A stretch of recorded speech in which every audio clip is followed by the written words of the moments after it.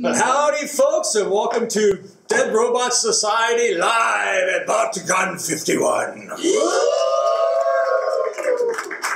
I'm your host, Paul E. Cooley. I will be cat herding this evening. I will be cat herding a distinguished group of panelists and Scott Roche. And uh, on this panel, we have the great and wonderful Veronica Giguere. Hi.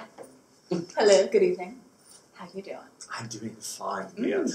Yeah. On the other side of the table, we have the infamous film director, writer, screenplay writer, and general alcoholic Charlie Brown. Bonjour, mes amis. Yeah, you need more alcohol. and then, of course, we have a, a, a, a returning veteran of the podcast, Mr. Scott Roche.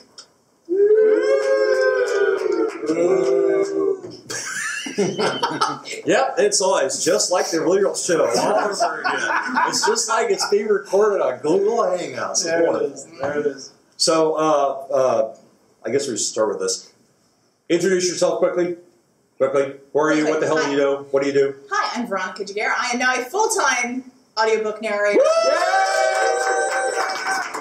And uh, I guess for DRS fans, I am the voice of the Empire of Bones saga. Boo! Oh, what do you do? Space Marines are good for me too, gosh darn it. Yes, seriously. There's no Space Marines in Mixon's work. No, No, no. no. I, You hear that, Mixon?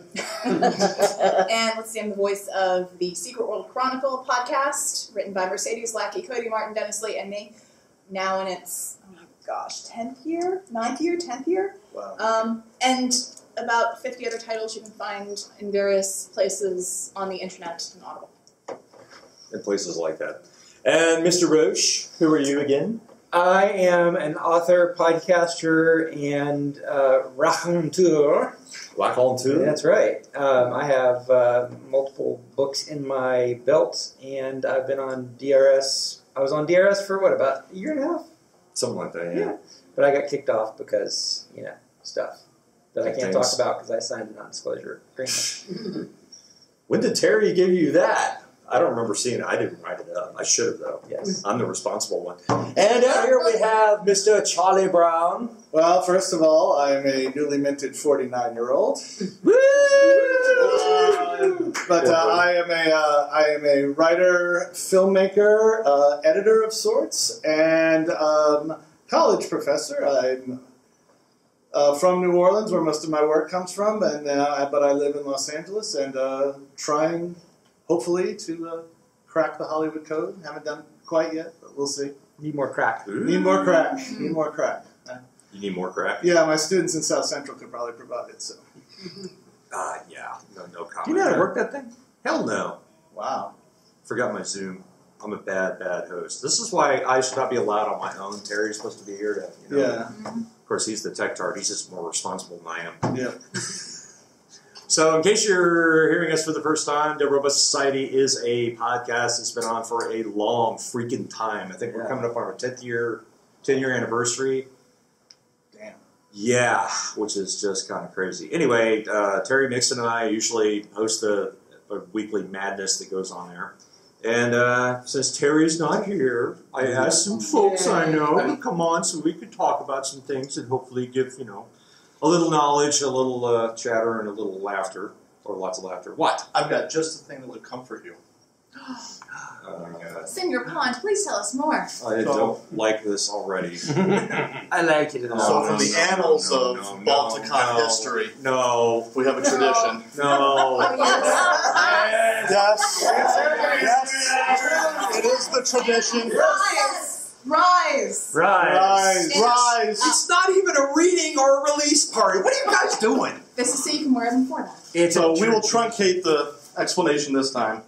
For the last eight years, Yeah, years. Paul has been the recipient of a very special pair of shoes, mainly to commemorate his falling down, passing out, not able to make it back out of the bushes escapades back in 2009 timeframe. Uh, I believe. Ten. 2008, 2000. Ten. So unfortunately, the Harveys can't be here with us again, JP and staff. But they did send along something to keep your feet warm.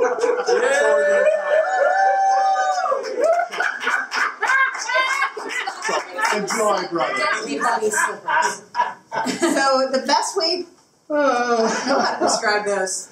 They're lamb. No, no, they, they have Are they fish. manatees? They're called blobfish. Oh, They're blobfish, and they look like the strange love child between a pig and a flounder. And and per the normal And they are- traditional requirements, Paul must wear them the rest of the con. I'm not even sure my feet will fit into these things. I have a sewing kit. One size fits And duct tape. oh my god, blobfish slip. No, Nice. it's- I just want to. I just. I kind of want to sing a song here. It started on Twitter Yeah. with the bunny slippers. Yes. Yes, yes, Bunny Bishop Bunny slippers. slippers. Thank you, Catherine. Hey, I was the one who said that they were deadly bunny slippers. At least they were deadly bunny slippers. That is Deadly correct. At least they were So so be comforted, Paul, and carry on, please. All right, now that you completely destroyed my train of thought, not that I have much. Here, I did and to commemorate or commiserate, I hope you're not allergic to bananas or chocolate. Nope. So, Veronica baked. Veronica's baked. Veronica smuggled this all the way from Florida. Wow. So you'll have to share. Wow, Pass it around. that's awesome. Pass it around. Pass it around. Take one down, pass is- it Take around. one down. Pass it around. Around. It's very, very unprofessional. I cannot eat while I'm while I'm while I'm uh, uh, pontificating. We're. I've got no Somebody such compunctions. I've got no such compunctions. So, so yes. Anyway, Anyway, Anyway. you derailed. we thought we would talk about. yeah. Yes. Good luck. That is Yeah, that's a good That's a good one. I have no idea how ridiculous this looks, but I'm pretty sure it's pretty damn ridiculous. Facebook will tell you. Oh, I'm sure Facebook will have all sorts of interesting things to say about this little escapade. Facebook will be telling you in about two minutes. Mhm. Caption this. It's not. Caption this. Let's meme Cooley, everybody. Let's meme Cooley. Because that never happens. Hey, Cooley. They're all going There better not be a mankini or a romper at the release party. I will kill people. I already said that on a podcast. Yeah, like, like that's gonna stop people. Look up, Paul. Hold on, I'm coming through, Scott. Hold on. Oh god. Here comes here comes the banana cake. That's it, right Oh there. my god. God. Oh, Um, I'll be in my bunk. I'm a sexy little girl. All right, so That's the meme, folks. Yeah, right. David Wood. I'm a sexy little girl. David it's Wood. quote this time. It's an actual quote. I did think I was going to suggest something about, you know, how to be a professional. V. He's got wood for blobfish. I brought chocolate and banana bread. Why did I bring a Roche? You brought good stuff. I brought a Roche. Mm-hmm. I One have more a raw. blobfish around your neck. And I think it's going bad. it's, I think it's way past its shelf turning life. green. Yeah. It's turning green. It, it was Best Buy. Oh, I don't know. How old are you? Yeah, 45. It was Best Buy 45 years ago. Anyway, so ah, most of us on this panel, actually all of us, write series of some sort or another. Right. So somebody asked me a very, very good question today, which, in case you don't know, I, I write. Uh, well, this is actually book one of the current series. Book two just got published yesterday. Woo! Maryland Saga. Release party on Sunday, I think. We're meeting on or reading on Monday mm-hmm. as well, something like that. Anyway, both come check it out, listen. But anyway, continuity is a humongous problem in series. How many times have you gone to read your favorite comic book or your favorite sequel to a movie and gone, wait a minute, that's not the way that happened in the previous installment of yada yada. This happens all the freaking time, and even though most of us try our best to to not let it happen, it does occasionally creep in. But since all of us are here in our various capacities as whatchamacallits Yes. and what we've done, Mm-hmm. I thought we would discuss this because I got asked about that in this doing this very series. So, you and the Secret World Chronicles. Yes. How long has this been running? So the Secret World Chronicle has been in its current form since 2006. Um, I know because I started narrating for it before my younger son turned one, and he was born in 2006. So I have a kid who's nearly as old as the podcast. Wow. Yeah. Um, see. So yeah, it's been. This will be starting the tenth year, and I've been narrating it consistently since 2007. Okay. and writing And for writing it for it. since 2008. Um, I've been a co-author on the series um, for books two, three, four, and then the fifth one is coming out soon. So, uh, any experience with continuity problems? Strangely enough, last night, so we have our collaborative writing sessions every last Thursday night. night, and grant the collaborative tools is another panel later on the con. But simple things come up, things that you that readers pay attention to, like the color of a certain character's eyes. Uh, Right. And so I'm watching. So everyone's in this in the group chat in Google, and then we've got stuff open in Drive, and people are going through working on our different parts. And two of the authors are like, "What color is this character's eyes?" I can't remember. Oh my gosh, I can't remember. We're at the, like the, right in the very end of this book, and I can't remember what color these characters this this character's eyes are. I think they're blue. And then the other person goes, "Well, they are now." So, my thinking back, one of the benefits to narrating the series for that long is my continuity on the series is really, really good because I've got to read it over and over. So, whatever I write, I'll go back and edit, and then I'll completely forget what I wrote, and then I'll go back and read through, and then I'm editing and listening, and then putting out the podcast. So, oftentimes it's the listeners who are better with continuity. Mhm.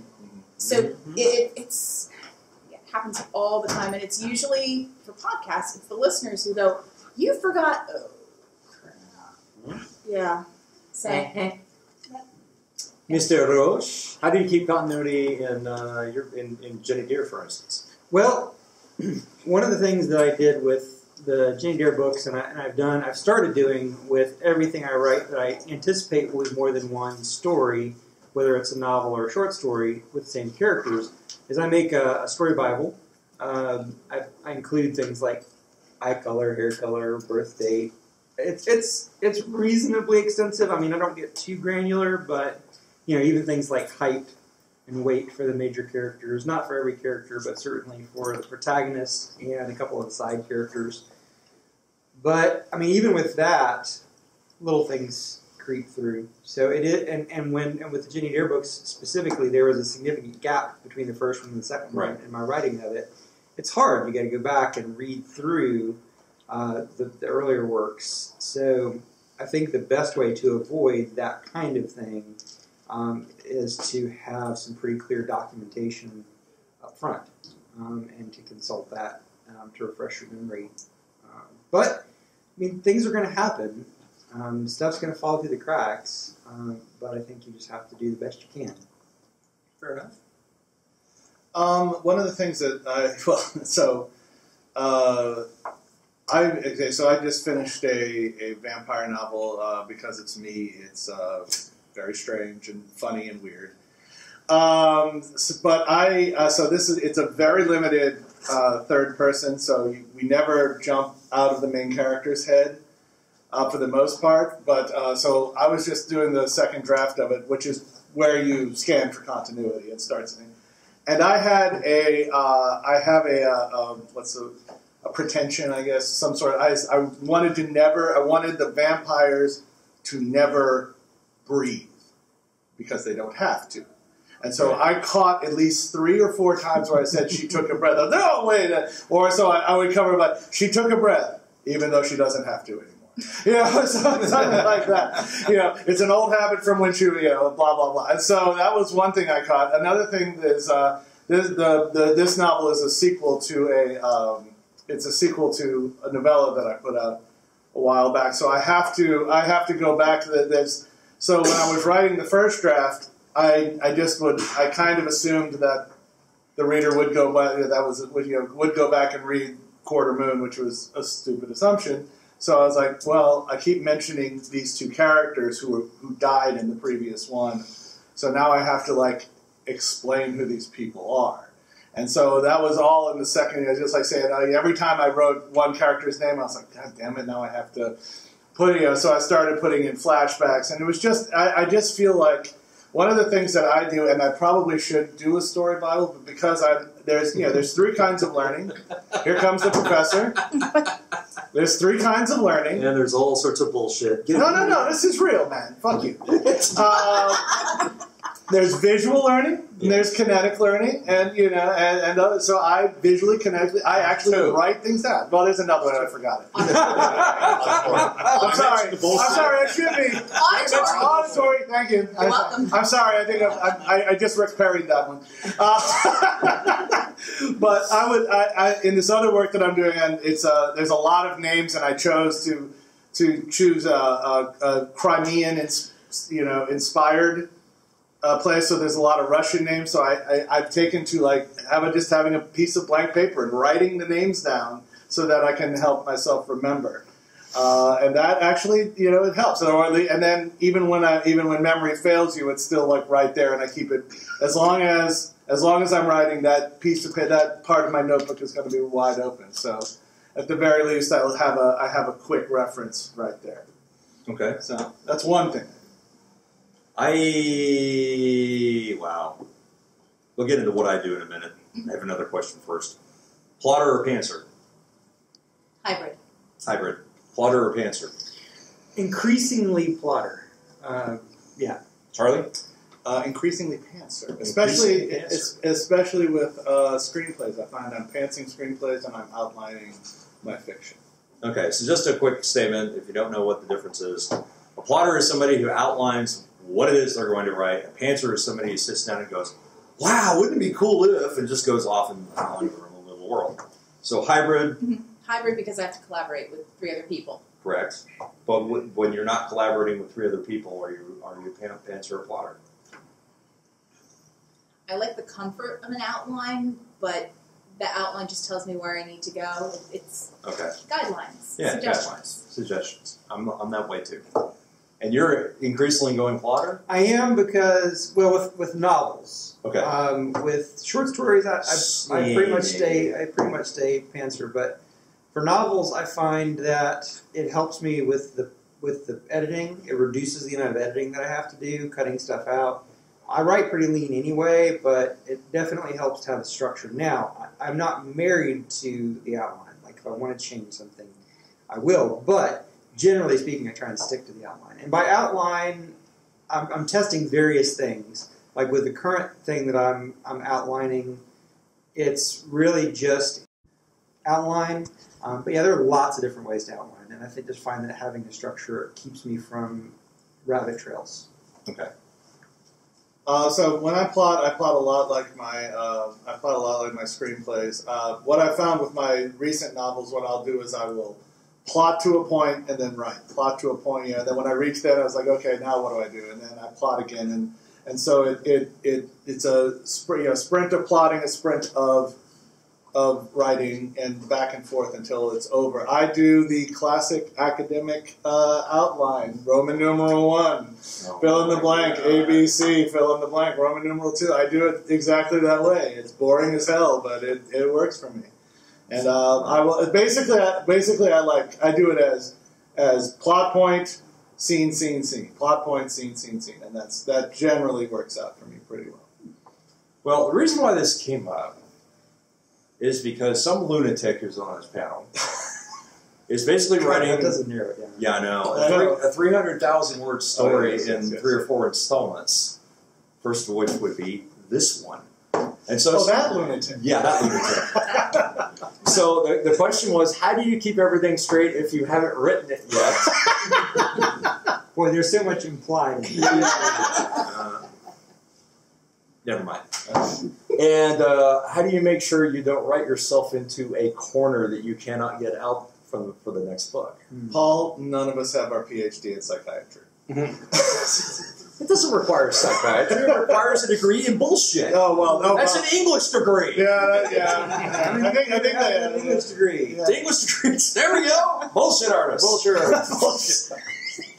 Theater majors making it sound right. The whole well, uh, English major, theater minor. Bullshit out. Bullshit. English, English major psychology minor. No, no, uh, no, sociology. Thank you. No, no, I am a psychology Oh, minor. oh, oh, okay. Well, I, I was saying, it's like, do you need to lie down on the couch, Paul? Because yeah, we can we can help you out. No, no, We're do a little massage. I did.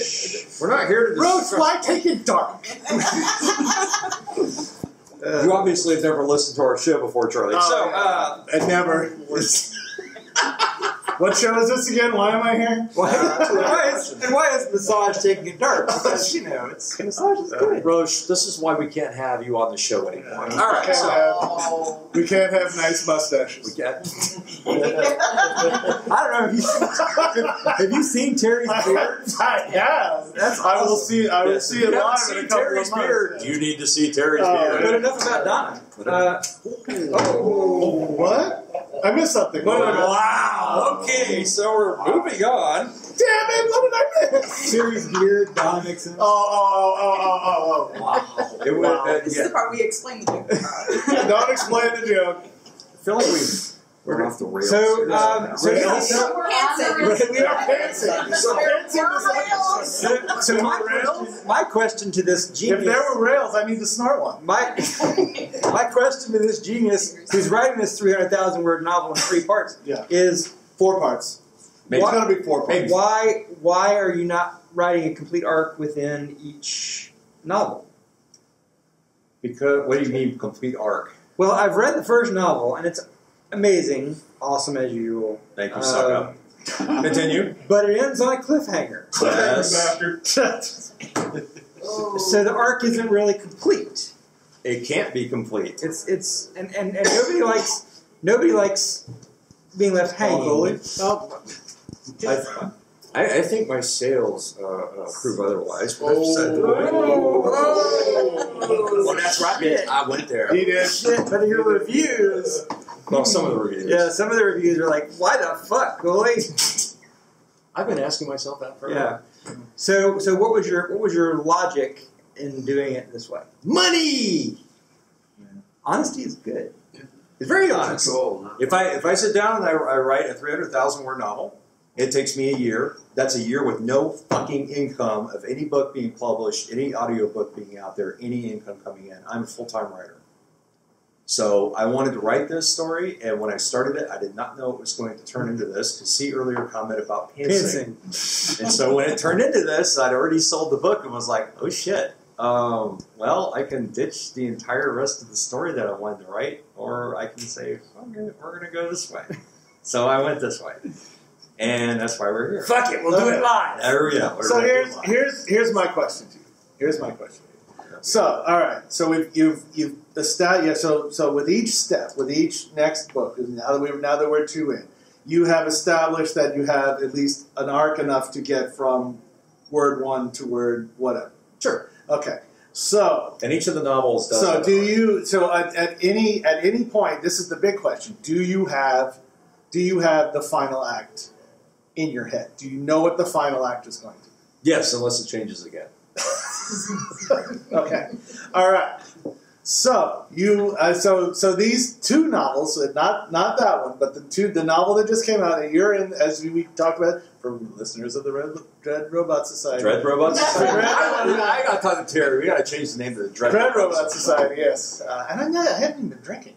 Um, I see the problem now. yeah, there's the problem. I've become way more focused when I'm drinking. Um, anyway, so you're so you have two novels in the big swampy middle. That you're two have two novels that Actually, are the, the big the second book was the, the Big Yeah. Swampy Middle. So you so you think you're going to finish it in three? Depends. Uh, yeah, I do. I have no finger string.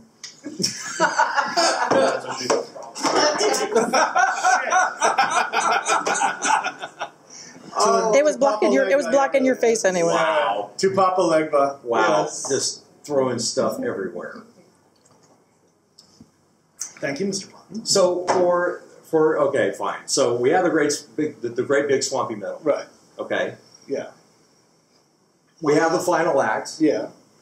However, this great swampy middle can continue on for quite a ways. Yeah. Okay. So instead of a swamp, you're you're in an ocean. You're in, you're in the middle of the ocean, and you're trying to. You're Christopher Columbus looking to land.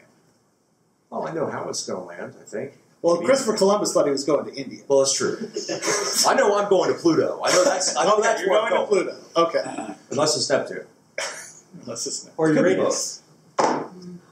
That's too far away from the Ladies, Kuiper. ladies and gentlemen, Scott Roche. again. What are you? 40? He's going up. Yeah, I think he's going up. Uranus is where he's going. Well, hey, hey, Hey, family show here. Family show. Win. What kind of Win. Family? Mine dysfunction. The only, the only. So that's how that. So that's what happens in that. Hey, hey, hey, Hey. This is the guy from North Carolina. Anyway.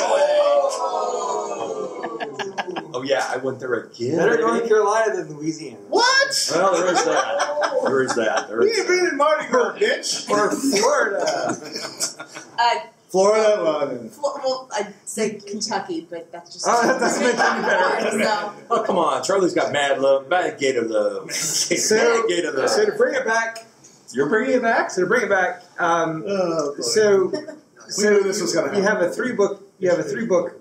You have a three book contract, or is it kind of open ended? It's however many books it takes to finish the damn story. And so we're talking Game of Thrones No. here. no, no, no, no. It has to end. It has to end. It will end. I know how it ends. I think, maybe, perhaps. Jesus. So okay, so let's return. Let's Welcome return to my this- world. Let's return to the subject at hand. Okay, so you've got. All right, my here's my question. Since we, all three of us have some sort of structure that you pretend not to have, Oh, I do have a structure. I know you have a structure, but you're saying for the most part you've got. Why can you not sit down and at least give yourself the skeleton to the skeleton to get you know to get it all connected? Well, if I okay, so It- is, I mean, I, I've heard Terry say that it's boring to write if he does it. Is that the same for you? If you if you outline something, was it then just too? Duh, I'm just too bored to write. no, because the honest answer is I outline and then I take the outline and I throw it in the trash and never look at it again. Oh, And then while I'm writing, I will outline a couple of chapters ahead because while I'm writing, I discover new things that I want to do or I have new ideas because strange things will happen, especially since I'm doing this far future sci-fi bullshit now. right, right, right. It's It's, it's you have a lot more opportunities to throw in some really crazy stuff okay, that serves the story quite well that you didn't think about until you start writing it. okay, all right. So, so So there is a was- madness to my madness. There is a madness to your madness. So you say, so you're saying, all right, I've, I've, you've gone through the act of plotting as an intellectual exercise, to the, for the most part. You've gone through some act of as an yeah, intellectual there's A, exercise. B, C, D, and then there's Z. Okay, all right. I, I, so wait, actually, actually, actually, actually, I have I had a little bit of an epiphany. This is a little bit like we're, we're looking at this as a traditional trilogy, when in fact it's a lot more like a TV series. That's the way I've been trying to think of it. Right. So with with one thing I've noticed over the last couple of years is a lot of authors, not just the crazy ones, are writing series more episodically, but but they're tied together. So there is a, a larger arc, and each book is an episode of the TV series. So is that kind of what you have in mind for this, or is it just that you're you need to drain the swamp? Um, okay, so The first answer is the right answer, by the way. the first answer is the right answer. Yes, I meant it to be TV seasons where they leave you on a cliffhanger, so you have to wait the entire time, and you hate the writers and throw things to TV because then it gets delayed and doesn't show up. And when you're expecting it back in September, it doesn't show up until February, and then cut two more episodes off, and then you, everybody gets pissed off. The internet phone's on fire. And Oh, don't don't don't forget they run the episodes in the wrong order. Oh, that too. They run the episodes in the wrong order. I just broke Pondy. I think the, I mean, Secret World Chron- Chronicles. How many arcs are in it? A lot. Sweet baby Jesus. so And is there an overarching Yes. arc? Yes, there's an overarching arc. Now, this the way that we so we outline it, and every every book has an arc, and the way that we do it, we actually use um, the uh, Blake Snyder's book "Save the Cat." Yeah, yeah. Oh, you just saved the Yeah. cat. Wow, that's Yeah. interesting. So because and so we use that beat sheet as an outline, and it's the 15 beats for each for each um, for each book, and then within each book, the chapters are episodes, Okay. um, and the stories can range from I think the shortest ones are a thousand words to one honest to goodness story episode is sixty thousand words in book four. Sixty thousand words for one. 16? Or 16. Okay. 16? It's gonna break into ten podcast episodes when I get back and start narrating. Good Jesus. Oh, Lord. pobrecita. Not. So, but we use that, and every the, every character, well, every character or character pairs have their own personal character arcs, and so by the end of each book, they have to be at a certain place. And there's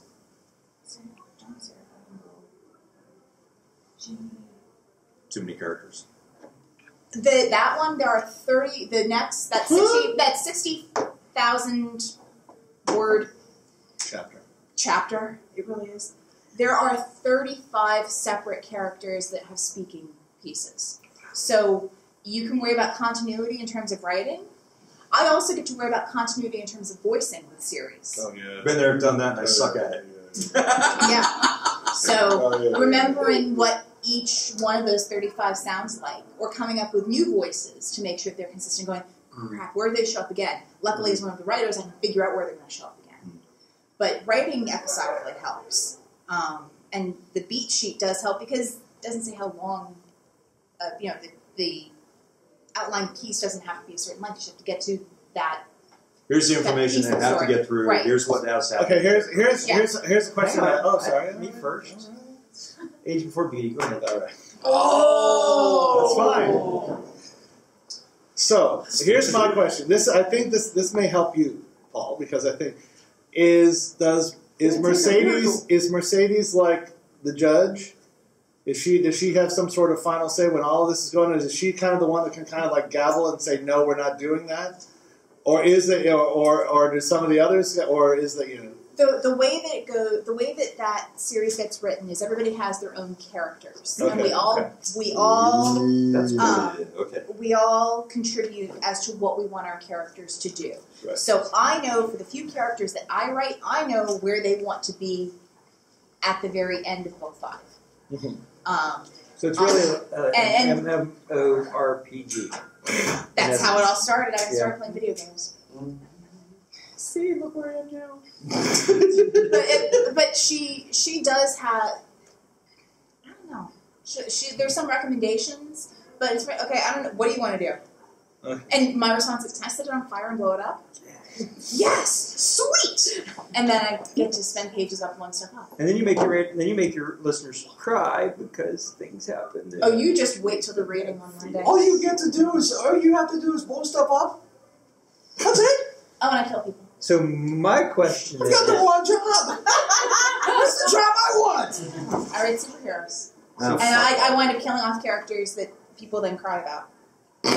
That never I got happens this- in my books. so so my Ah. so my yes, question killed off Nancy so my sorry. question for you is, I and I saw you mention something about this in one of your social medias. Um, that so do you go back and sort of re-listen to bits by characters to keep the voices straight? How do you? Yes. Okay. So, like with not so much with Secret World, I've been doing it for long enough that I know the characters very well.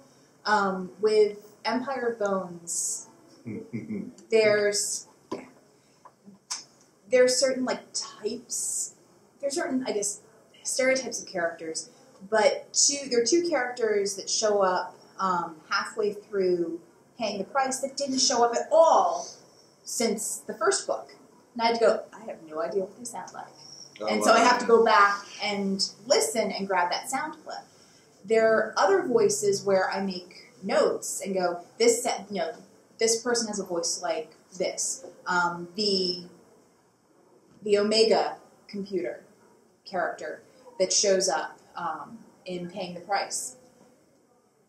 I imitate the uh, test track prompt from Epcot. That's what it sounds like. Like, because I was like, and I had I had a, break where I hadn't recorded for two weeks. I was like, oh, I have no idea what it sounds like. Go back and play it, and I hear myself say to myself, "Hello." I'm like, oh, test track. That's what it is. So Nice. just those quick descriptions. Most of them I get away because they're kind of like stock voices in my head. Mhm. Yeah. So that's what you call that. so Yes. that you don't sound crazy. Yes, stock voices in my Your head. stock. Other people call it schizophrenia. She calls Yeah, it stock yeah. voices. Well, there, there's spoiled princess voice. There's grumpy princess's boyfriend voice.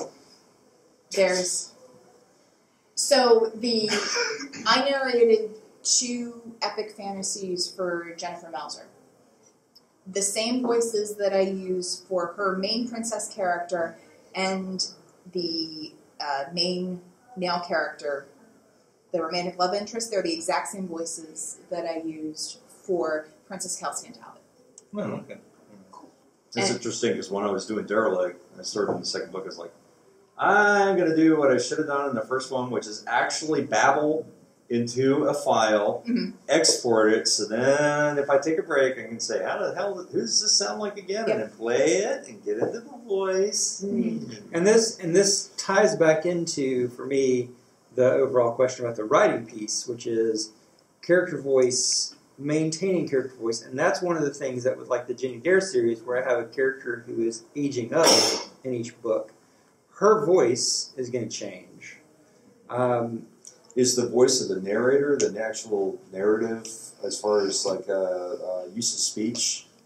Are you going to start using more grown-up words as you go along, like No, but- in Harry Potter? Or No, but there will. Well, no, not necessarily. Well, maybe some of the jargon will, will get a little more intense, but um, uh, the narration so far for the two books, and probably for the third book, is going to stay largely the same. But her voice, because it's it's close, it's close third person, Mhm. so I don't have to worry too much about. Um, so if I were doing first person, definitely I'd have to make that happen. Since it's close third person, I don't have to worry as much about the narrative voice, but her voice and her her everything about her has to amp up a little bit and age up a little bit, but all the characters around her are adults, and so they're they're going to stay largely the same. Um, but yeah, it's hard to when you, especially when you take a long break. It's not just about things like, you know, uh, for for Esho St. Clair, he's got these magical bangles that he wears, and I know exactly what each one is and what it's made of and what it does. That's easy. The hard part is, you know, uh, keeping his voice the same, keeping Sean's voice the same, keeping what turns of phrase do they use? Yeah. What's their speech cadence? What's yep. And I don't have a way of capturing that. Yeah. That's a little more more difficult to do. I think the the bet Terry gets away with this very easily because he takes very short breaks from Empire Bones because mm-hmm. that's that's basically his moneymaker, and that's cool. I haven't written a black book in a year and a half, Yeah. so when I dive back into evolution again, it is going to be it is going to require me to go back and look at how every how I wrote every single one of those freaking. Oh, so you're, you're going to bring all those characters back together. I So have to. everybody, everybody who's alive is I gonna- have to. All the survivors. All yeah. three of them. Actually, I think there are twelve of them. You yeah, you got a lot easier on So you know, one of the one of the things that one of the things that I do because I you know because I do outline, but one of the things that I'm constantly doing is I'm not editing as I go, but I am at least re rereading the previous chapter. I do that a lot. In fact, you know, I will always reread the first chapter before I start writing again. You know, before I dive back into writing, so that I at least can. That makes me feel by by give by you know one it does help with the editing pass a little bit, but also it's like okay, you're now you you know because I I write voice driven fiction. Now I'm back in that voice. Now I'm back in that headspace by reading it, and then I can kind of jump in and and continue to continue to roll. So that is also part of the continuity for me is voice, you know, not just voice, but also also okay, what kind of speed are you at? Is this a fast scene? Is this a slow scene? Do I need to slow down? Do I need to speed up? Do I need to flash back? Do I need to do this? And that you know, by having by having it, you know, it's almost like directing a film in the sense that you know, when you're a director and you're working on a film, the scene you're shooting is not necessarily the scene that came, you know, after the scene that you Yeah, you're wrote. not shooting in You're not shooting in continuity at all. So as a director, I have to know the entire script, even if I didn't write it. I have to know the entire script. I have to be and the actor I know what's now, and it's my job to say, you know, that stupid line. What's my motivation? It's fucking true. They have to know what their motivation is. They have to know what came before, because if they're not acting in that moment, you're not, you know, if they're thinking about what's happening before, then, then they're losing the moment. So again, I, you know, so when you look at writing as film directing, it's just you you've got to keep that continuity, but you just don't know what comes after yet. So by constantly, you know, cycling through the previous, you know, writings, you know, I'll go two, three chapters back. Just Are you telling me you read your own dailies? Yes, I do. I read my own dailies. yes, that's exactly what I do. One of the things that I do, at least with some of my characters, is related to filmmaking. Because a lot of times when I write something, if it's if it's particularly if it's a scene that I have had to spend some time really brewing over for a couple of days because I wrote myself into a corner, I actually play out the scene in my mind like it's a like it's a movie clip, and in some cases, I actually assign actors to characters. So Avery Brooks, if there was ever an Esho St. Clair movie, would play Esho. Yes, yeah, yeah. I think I Um, can see that. So you know that, that's a, thing. That's a that's a mental trick I sometimes play is assigning an actor to a character, um, or some or really envisioning that main character until I can picture them in my mind, so that even if I don't have a main actor that I can do that with, at least I have a very clear mental picture of what they look like and how they move, and that informs how they speak and what they do. Mm-hmm. So yeah, I do that. I definitely do that too. Yeah, there's a couple of like actors that, and especially in the vampire novel, I was like picturing. I was like, okay, this person would play this one and this person. So, so that I, I would at least have, I would at least have. That makes it that you know that makes character description easier Mhm. because you already know what they look like. For the most part, mine are kind of faceless in my mind. There's very few of them. Really? Yeah, if they, if they do have any spe- specific features, that's what stands out. But basically, it just looks like a blank face. Huh? That's interesting. I wonder if that's related to pantsing and uh, and outline. I honestly don't know. I don't- I don't know It- it's not always like that, Yeah. but it frequently is like that. Huh. Especially with the, the books like Derelict and the Black Series, where Uh, have and a lot of I, that's funny because uh, maybe it's because I am a visual learner, and it's like you know because I have to know what my characters look like in order for, Yeah. them- for me to write them. Because do yeah, I have to I have to see them, even if they're not based on actors. I have to look at them and I have to I have to cre- almost like give myself created memories. I, I, I usually don't know who the hell they are or what they're like until I actually start finding out by through my fingers. Huh? Now, Wow. sometimes That's crazy. That's sometimes when I name a character after a person that I know, that makes it a little easier because even if because even if they're not even if they don't speak the same as their counterpart, um, at least I, again I have a so like the, but my favorite example of that is uh, in dirty in my Dirty Magic uh, New Orleans story. Um, I cru- I literally crucified James McCum- uh, Justin Macumber. yeah. Um, and even though he doesn't have a speaking part because he's dead at the beginning of the story, I just loved picturing Justin Macumber crucified. Um, there was just something about that that appealed to me. Upside down. No, no, no. He wasn't crucified. Right side up. No, it was right side up. Yeah, because it was it was imposed over the. Pierced Uh, side and everything. Yeah, it was imposed over the Macumber Jesuit- is, he's the founder of the Dead Robot Society. He was yeah he was imposed on the on the Jesus in the in the Jesuit church, uh, and- which Scott wrote about the Jesuit church in New Orleans, not knowing that my mother used to volunteer at the Jesuit church. so I unfortunately was picturing my old high school principal who was running the church when my mom was there.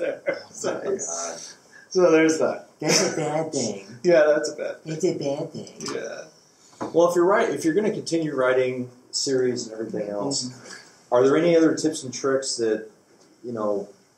Any advice you have to other writers out there who are looking into do this? Because a lot, I mean, a lot of the writers that we that we come across are writing close third person.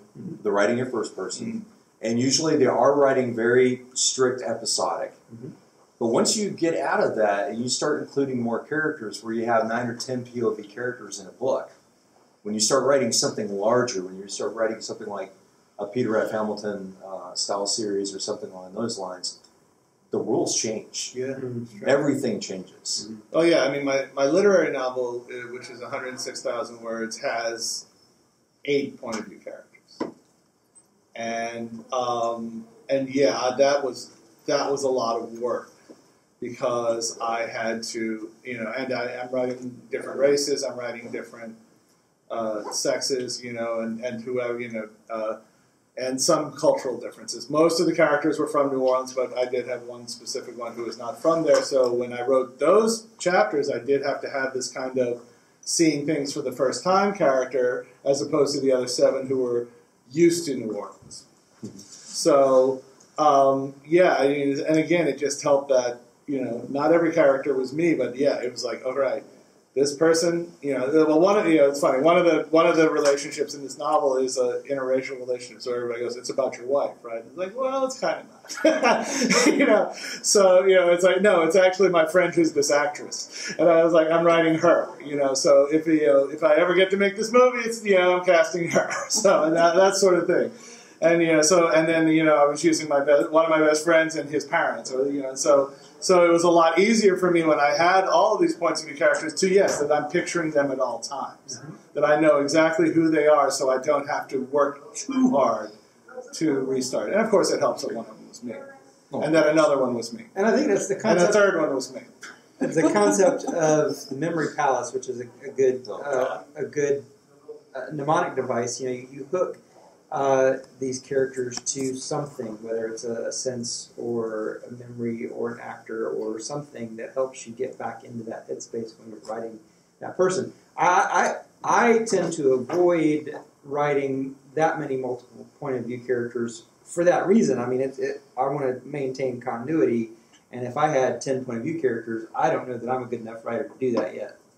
In a way, and to convince. I said yet. I said yet. Stretch. You know, the last time I said that to you, you, you still complained. I'm always going to complain. That's Well, what's that's up. true. Yeah, yeah. he's, I he's, just- I bet. Well, yeah, Scott. He's going to open his mouth again. I just want a quarter inch in diameter. Anyway. Yeah. Oh my gosh. Yeah, just, just ignore them. Or ignore him. Right. So having the having the story bible and having the kind of character snapshot sheets is good. Yeah. But it's not something to get like bogged down at the No. beginning with. It, it's it's the sort of thing like you know you write. Um, you could get away with writing a third of the story, outline or pantsing or what have you, and then stopping and going and documenting what you've done. Yes. If you like it, fantastic. If you don't, then you see what you've done, and that way you can see what you've written too similarly. And if you need to go back and read it aloud to yourself, or one of the other things that I like to do is just in that character sheet, dialogue. Just let the character talk about something completely ridiculous. And he said, she said, nope, just the dialogue. Just like you hit record and then it transcribed right on the page. Because then you really do get their mannerisms, their cho- chosen vocabulary. Let them rant in your head Mhm. for half a page, and you'll learn more about them. One, one of the things I did with the first Jenny Dare book to kind of get that was uh, as part of the snowflake method. You take uh, you can take a character, each of the major point of view characters, and write a brief synopsis of the story from their point of view in their voice, um, and that was very helpful, especially with getting Jenny's voice. And the and the main antagonist's voice in the first and second books was to write a brief, a brief, you know, just a paragraph, two paragraphs, two paragraphs, whatever, in their voice from their point of view. Hmm. Even if you never actually include that in the book, you've got that Yeah. capture. Well, see, now you give me an idea for another episode topic, which I will have to, you know, beat Terry over the head with. What about uh, what about going old school? This is not something I've done, but what about really going old school and uh, break out your Dungeons and Dragons books and just make character sheets for all your characters? I use Scrivener to do some of that, but I don't get. I mean, you know, do go ahead, do detail. dexterity, do constitution. Oh, no. yeah, that might help you. That's That not might a horrible help you. idea. I mean, there Why are would that not help you? No, no, it totally does. I mean, if you want to get that in depth with it, I Yeah, mean, I'm just saying. I'm So just John throwing it out- Morgan, who's a fifth level, a I'm fifth level throwing- thief in I'm the just throwing it out an idea. just Oh. sitting down and taking the time to write out just in paragraph form those Yeah. details, Yeah, and then yeah, a little yeah, bit of yeah. backstory as you're doing the description. Are you chewing scenery while doing it? Of course you are, but at least you've got something to reference you can go back to. Yeah. And mm-hmm. it's good if you're stuck somewhere. Then okay, well, what was what was their childhood like? What's their favorite movie? Why is it their favorite movie? What's their favorite hobby? Why is it their favorite hobby? And then you have, you know, maybe you're not going to tackle that in this book, but later on that could be relevant, and you can just you know, pull it out and use it. Excuse me while I whip this out. Yes? So, so one of the things that as writers you're always challenged with is time. And when you're starting to write, obviously you're the only one really involved in your universe. But why not open it up and possibly do a wiki where you document all this in a wiki format initially, and uh-huh. then as your fan base grows and grows and grows, you open that up to your fans to allow them to self-document your universes and worlds and characters and everything for you to help you. Yes, I, I know. I will find volunteers for that in, in, in the near future. I mean, there. So, It worked so for Martin. It Sigler, worked for George R. R. Martin. Sigler did that. Um, Yeah. The uh, the Flash Pulp podcasts, um, they have a community driven wiki for theirs because that's not just one story. That's uh, five or six different story threads that that J.R.D. Skinner um, wove together and is continuing to weave together. Um, Flashpulp.fm to to shout out to them. Um, so yeah, if you can get your fans to do that for you, absolutely. Or even if you do it yourself, absolutely. It's, uh, wikis are a good tool. We need to wrap this. Yeah, we need to wrap this up. So, hopefully, you enjoyed this. If you would like to send us communications about how terrible this panel was, you can send us a sh- an email to show at deadrobotsociety.com. You can tweet us at Paul underscore E underscore Cooley because Terry is too much of a caveman to use Twitter. Or you can you I can join understand. You can join our Facebook group, the listeners, the Dead Robot Society Seri- podcast. seriously, one of the best fan communities I'm there glad, is. I'm glad you actually did it. I'm glad you actually did it without without stumbling. Oh, well, that's because I changed it around this time. Oh. yeah, please please join our, our Facebook group if you have questions about writing. You want people to look at things. You would not believe the number of resources, and we have a lot of very very dedicated, talented people on there that aren't Terry and I. Mhm. Um, and uh, you Yeah. can find us. Of yeah, you course- got you got to tune in just for the David Wood photoshops alone. no more Sailor Moon Cooley. I will. Sailor Cool. I don't think that's going to be a problem. No, yeah, if you would like to uh, also um, uh, join our Patreon for as little as one dollar a month, you can receive exclusive access to uncut, unedited episodes, Worth every penny. as well as exclusive bonus content that we put up there, including a live monthly show that we do off of YouTube. So, with that, I will thank my wonderful panelists, Veronica Giguere, Monsieur Scott Roche, Monsieur Charlie Brown, and again, I am Parsec Award winning, best selling douchebag, Paul Douchebag. E. Cooley. Douchebag. And with that, I bid you adieu.